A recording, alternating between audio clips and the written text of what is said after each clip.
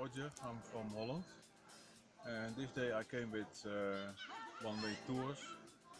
A very good tour for having information about ancient uh, things in Armenia, which uh, you normally not see in the world. So it's very special.